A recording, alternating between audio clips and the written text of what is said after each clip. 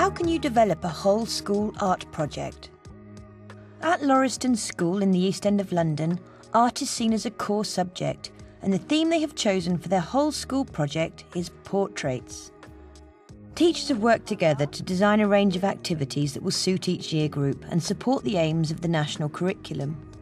While some teachers have focused on drawing and observational skills, others have looked at portraits more abstractly, using a wide range of different tools and materials.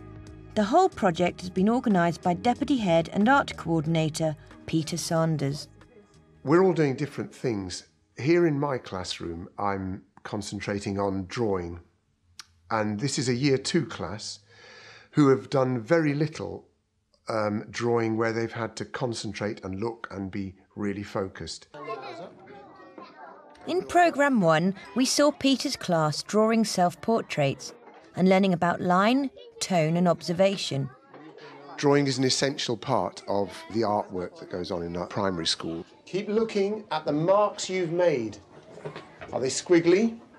Are you using tone? They drew for about an hour, which I think is extraordinary, especially considering that they're only three weeks into being year two children. What have you learned that's made you a better drawer, do you think? I looked at the light bits, then I looked at the dark bits. Don't rush, really look closely. I want you to go up and to tell us why you like. As art coordinator, Peter has worked with colleagues to develop the portrait theme with other year groups. The nursery chose to do face painting. This was seen by everybody as a fun way of addressing the theme of self-portrait. And what I want you to do is just make some shape. We've done quite a lot of work on portraits before, but we found that with children that small, it's quite hard to get them to really look at faces. They tend to be quite focused on the paper and what they're producing. long, fat lines. Try pressing. So we decided the best way was to actually get them to paint each other, because then it would be kind of a very direct experience of what a face is like. About what colours you're going to choose. We started off by taking digital photos, but we printed them out in black and white because we didn't want them to be distracted by the colours that were already on the face. You can do it on your lips, though. You can, I'm going to give you. And we talked about patterns and colour and different things they might like to do. And when they'd had a bit of an experiment with that, we moved on to the actual face paints. Why do you think we're colouring in these faces, Martha? So we know what we want to do on the faces and we want to do on the faces look very nice on the faces. That's right. We got them to kind of just practice with the sponges and the brushes on my hand so that they could have a feel of what the materials were like and then pretty much let them have a free rein on the faces. I think it's really important to approach a topic like portraits in quite a variety of ways because some children will be really inspired by painting or drawing, and for others, something more hands on like clay or face painting is what will work for them. Is that what you were trying to make him look like? No. Oh, no. I think whole school projects work really well because you know, the children talk amongst themselves and with siblings, and I think it, it creates quite a nice community feel when we're all working on one thing together. Reception class are making puppets and using collage to experiment with different materials. And we'll be looking at our design and thinking, how can we make this into a puppet? We decided to break the portrait project down into smaller stages rather than doing everything at once. So we broke down looking at ourselves and asking a lot of questions, asking the children things like what do they look like, what, what colour are their eyes, and talking about our skin tones, uh, the different colours of all the children in the classroom. We decided to see if we could work with the children to mix their skin colour, which actually was really tricky. What do you think? A bit more red in it. They're all trying to mix their skin colour to cover on their bags, and they've all worked out that you use red, blue, or yellow, and then they're testing it on bits of paper to see whether it's they like it. Test it on this again to see if you like that. Eventually, we came out with some really lovely ranges of skin colour. And then the next stage was to look again at our faces and decide how we're going to make our face look like us. So you might want to choose a I've material that looks just like your hair. We limited the materials that we gave them because if you put feathers and sparkly things out, even though we've had a conversation about their eye colour, they'll still choose the silver bits to stick on their eyes because they're drawn to the exciting things. Can you see any other green on the table that you might want to use? And then it's just a question of having a look at what they've got and saying, okay, well, you've chosen blue for your eyes, that's great. What else do we need to put on your face to make it look more like you? I think they look quite good. The eyelashes are fantastic because that shows me that you've been looking really closely. Put your puppet on your hand, Kitty, and then we can tell a story with your puppet. You have to turn it round, don't you? Yeah, you do.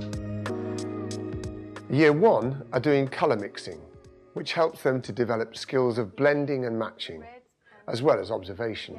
And we saw how they could all mix together to make different colours. We selected the primary colours to give them more of a chance at producing an actual colour that wasn't just brown. We had a trial lesson to see what they could produce, and they were managing really, really well. What colour's it made, Jonah? Purple. And we're going to try and make eye colour, skin colour. With our project on portraits, rather than thinking about the whole face in one go, which is quite daunting for a child and also quite difficult to do for anybody, we thought we'd go ahead with focusing them on hair, eye, lip, and cheek colour. And I think we've got some really successful results. See, that's almost exactly the same colour as your skin, isn't it? What did you use? Blue. Wait. A bit of red. So just blue and red. Right, Adam, we're just going to hold this up against your face, see if it looks like your lips. But I basically think colour mixing is magical because they come up results that they totally didn't think they were going to hap- have. And one little boy was saying, I can't make pink. And I said, What colours are you using? And he said, Blue and white. So they're really surprised with what happens with colour, really, even at this age. I can see some similar colours in there. See if you can try and He's do also got a bit of like ginger. a little bit reddish, isn't it? A little bit gingery. That looks like somebody's eye colour, maybe. Is it matching up yet? Um, no. I think you're getting closer though. We use clay on a regular basis throughout the school. Put your bits of clay on the board. Here, year three are using it to take the theme of portraits into three dimensions. I knew they'd had a lot of experience working with clay, so we thought it'd be a really nice material to use just to develop their skills a bit further. happens to the clay if your hands are really warm? It really helped me that I had my assistant on hand to cut the clay to prepare it, because if you do it too long in advance, it dries out and it's useless. So preparation is essential, really. You've got the basic shape of your face ready. Can anybody remind me what are the techniques we can use to add bits onto the clay? We talked a lot as a school about the things that we might need to do. And um, so people who are very experienced with clay were saying, well, you need to think about the layout of the class to make sure each child had their own space. Caitlin, what else? We can use our tools to smooth bits on. Have a think about the drawings you did the other day. We spent quite a long time drawing, looking at people from different angles, different viewpoints, so they could really piece together where things fit in. And even after the drawing came in, there was a lot of time just feeling the clay. Oh, so you're going to put sausages to go down the back of your head as well. And put it on here so it could be the front of my head. Wonderful. Oh, so did you make holes first? And then you put the balls inside? With this stick, I'm making eyelashes. I think clay was fantastic to use because, especially in Key Stage 1, art is very much 2D and it's about work with paper. And I found the children that are very reluctant to make marks on paper were actually quite happy to use clay. If they made a mistake, they could squish it back in.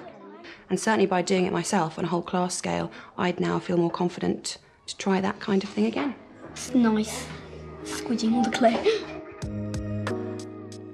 The idea came from some literacy work that they'd done where they'd invented some characters and they were encouraged to be as imaginative and as adventurous as they could. I just wanted the hair to look like a punk. How did you get this paper to curl? Because you've got the curls in your drawing, then you've got it on your mask as well. Oh, I just- So the mask making is really putting sort of life into the character. The idea being that they will then wear the masks and become the characters that they've created. Why have you chosen those colours? What kind of animals are you thinking about?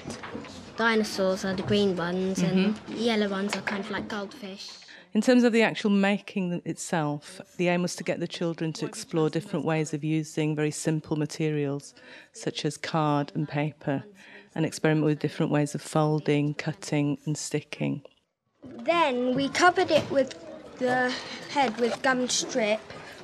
I think it's good for the children to see what other children are doing and how portrait isn't just about drawing a face. It's about representing people in lots of different ways. Sounds like squirts mud out of its ears. This tongue is meant to be like an electrical tongue, so I called it cyber tongue. I think. The eventual outcome will be that they'll wear the masks, and that will be another starting point for drama work. Year 5 have been looking at the way different artists have approached portraits. Picasso was the starting point for the folded card faces. Trying to fold paper and see if we could get a 3D effect, just like Picasso was doing. I thought it would be really nice for the children to have to think about portraits in three dimension. We want to now start looking at our profile, the side. It very our quickly occurred to me that the children were going to struggle to get 3D portraits of themselves with the cutting, the scoring of cards, the folding, the bending. And so it kind of developed that they did characters that came out from close observational drawing, bits and pieces of different characters. It kind of took on a life of its own, and so they're characters with beards and that kind of thing. It's a bit hard because your face is there and your eyes are on your face, so you can't really see yourself. I've got his ear there, his ear there. Used the scissors, pulled it, and then it made this curly thing for, for frizzy hair. I wanted it to be a link to as many subjects as possible. The children are going to hopefully have this portrait that opens up, and then it, lots of characters can develop from it, including their own. And it's going to be a fantastic route to creative writing. It's a drawing of the side of Femi's hair. Using photographs and photocopies, Year 6 are exploring the meaning of images by looking at the context in which they appear. I presented them with the idea of portraits. Simultaneously, it so happened that they were gripped by the topic in history of the Second World War. Thus, we had two strands the Second World War or developing an abstract, more personal theme. Is that you're questioning the meaning of photographs by superimposing your own photograph? I got a picture of my dad in his suit and a picture of a Victorian man.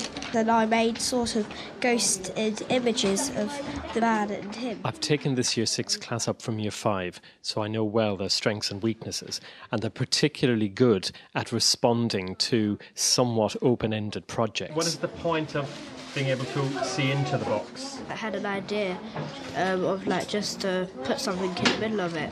I feel strongly that whilst I present the children with a theme, they need to have the freedom to take that theme in the direction of their choice and uh, arriving at conclusions where they're actually, one could say, deconstructing the whole meaning of photographs.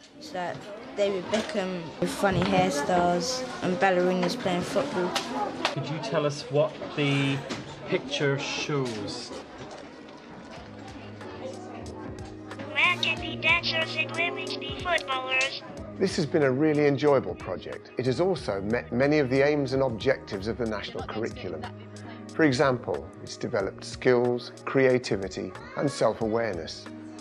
Children and staff have had the chance to share the work that they've done on a common theme and seen the progression across the age range. Although the project is nearing completion, it will serve as a tool to be used in drama, language and discussion work for many weeks to come. And can you sum up for us just uh, what is the overall meaning of your piece of work? Hmm. Weird.